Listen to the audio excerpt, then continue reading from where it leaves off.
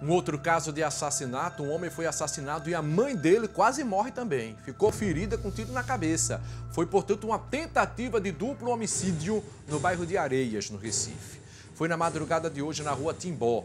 Everton Luiz de Santana, de 35 anos, estava dormindo dentro de casa quando três homens encapuzados arrombaram a porta da residência e já entraram metendo bala. Tudo para cima dele. Só que a mãe dele, dona Etienne Aquino Vera Cruz, de 52 anos, acabou sendo atingida também. Um tiro de raspão bateu na cabeça dela.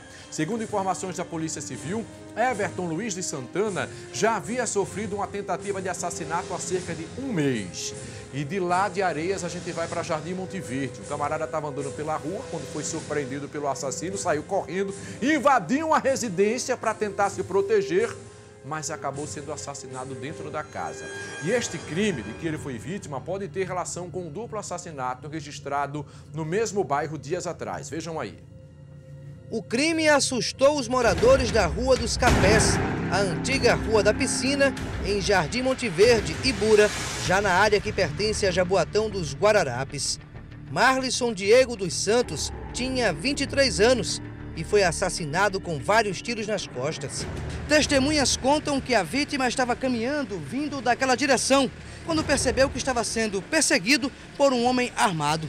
Marlisson correu, mas foi atingido por disparos de arma de fogo. Mesmo baleado e desesperado, ele invadiu a residência. Dentro da casa, sofreu outros disparos. Durante esse percurso, ele fez o que pôde e foi surpreendido o pessoal do imóvel e depois os algozes se evadiram do local.